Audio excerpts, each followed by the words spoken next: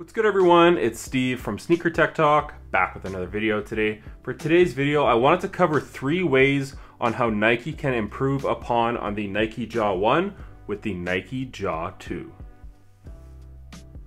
Alright, so just getting things started really quickly. If you didn't know, the Nike Ja 1 did initially release last year in April 2023 for a retail price of $110. And what this shoe featured on the initial release and with the newer colorways that are still releasing today is a very aggressive traction pattern that performs amazing basically on any court conditions. On dirty floors, you'll have to wipe every so often. The upper of the shoe is very cheap with this mesh material and kind of like these fuse overlays running throughout the shoes. And some of the models have like a synthetic leather at the back here and a screen mesh at the back of the shoe as well. So overall, the materials are very cheap. Now, as far as cushioning goes, you're getting a very dense Phylon midsole and then a really skinny Zoom airbag kind of running side to side in the forefoot. Again, these initially released for $110. I don't know if Nike saw the overall success of this shoe, but they did raise the price on some colorways to 120 dollars and I believe even up to $130 for the Nike Ja 1. So I just wanted to cover three different ways on how the brand can improve on the Nike Ja 2. Now the first thing I did want to cover with the Nike Ja 2s that they can improve upon compared to the ones right here is the overall cushioning system. So again, with this shoe, you are getting a very basic and dense Phylon midsole. It's very dense and really hard underfoot. It does become a little bit more fluffy with play, but overall it's not my favorite setup. In the forefoot again, you're getting a very small Zoom airbag. Now, where I think they can improve upon on the twos is giving us a fluffier foam compound on the heel or just Cushlon altogether here. I think Cushlon would be a way better option for more playstyles and just offer a more plush feeling here at the back of the two. I think it would just offer a nice plush feeling on the back of the Nike Ja 2 if they did want to go that route. Now in the forefoot, he is a very explosive player, and I know he has played in a ton of Kobe models from the past.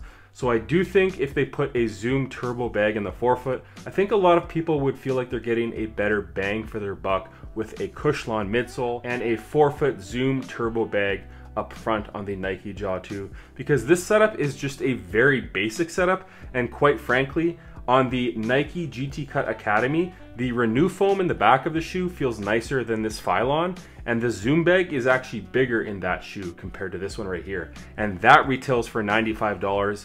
These retail for between 110 and 130. So I think Nike can definitely do a better job, starting with that Cushlon in the heel and a Zoom Turbo bag in the forefoot. The second place that I think Nike can improve with the Nike Ja 2 versus this shoe right here is with the materials. Now this mesh material is super cheap and actually kind of like pretty scratchy and it does take some time to break in. And then these fuse overlays right here, again, it's just a really cheap setup.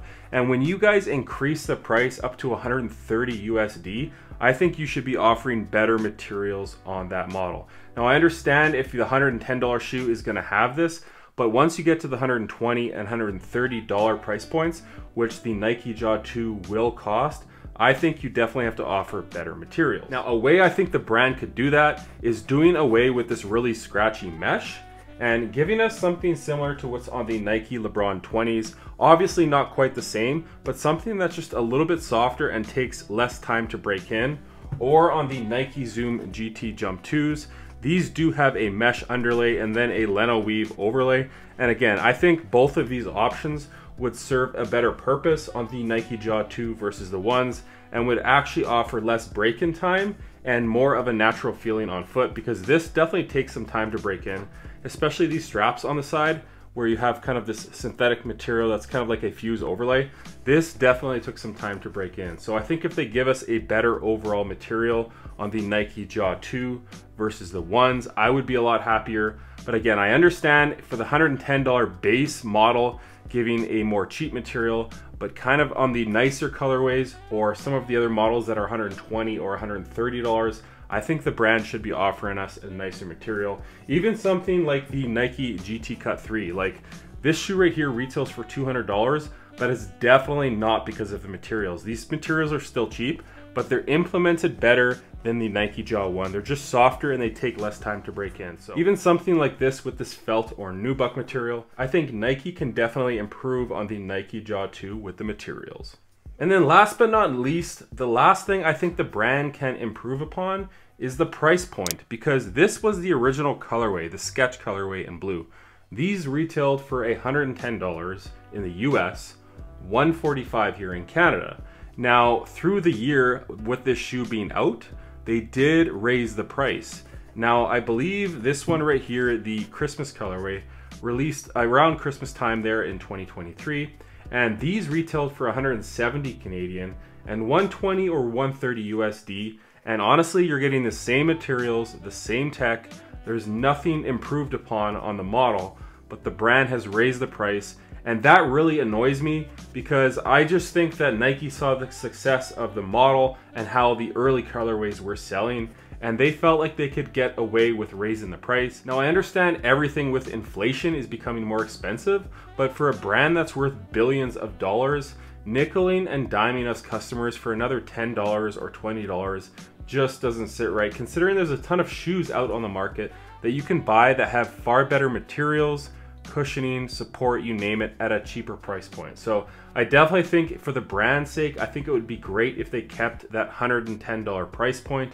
I don't remember if the Nike PG line was ever more expensive than the initial 110 that it retailed at on the first model all the way up to the sixes. Sound so off in the comments if that model ever increased in price. I don't believe it did, but already with the Nike Ja 1, we're seeing a price increase. And that brings me to the Nike Ja 2 in general as far as its release.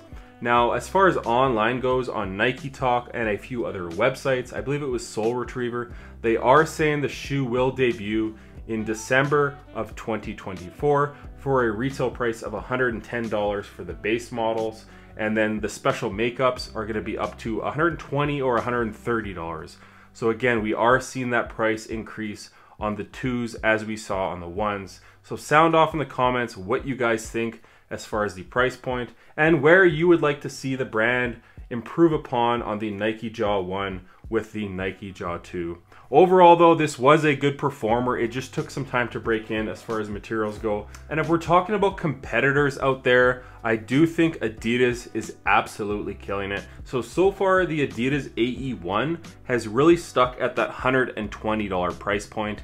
And what you're getting in this shoe right here is far greater than the Nike Ja 1 as far as bang for your buck. You're getting amazing traction on the AE1, a full length jet boost, midsole as far as the cushioning goes, which absolutely destroys what you're getting in the Nike Ja 1. And the overall aesthetics of the shoe, in my opinion, is the best looking debut signature shoe in a very long time, and my favorite signature shoe out right now with the AE1 from Adidas. So bar none, this shoe right here, as far as performance package, what you're getting for $120 is far greater than what you're getting from Nike here on the Ja 1. But that's to do it for today's video on three ways where I think Nike can improve upon on the Nike Ja Morant signature shoe line. We are to be waiting another seven or eight months until we get a release date probably at least another couple months until we see some leaked photos. But overall, I did enjoy the Nike Ja 1. I just want more from the brand as far as the cushioning,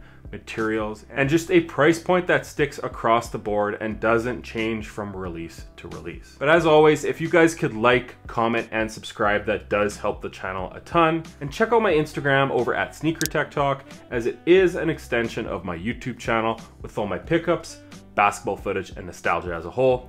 As always, thanks for watching today's video, and until next time, peace.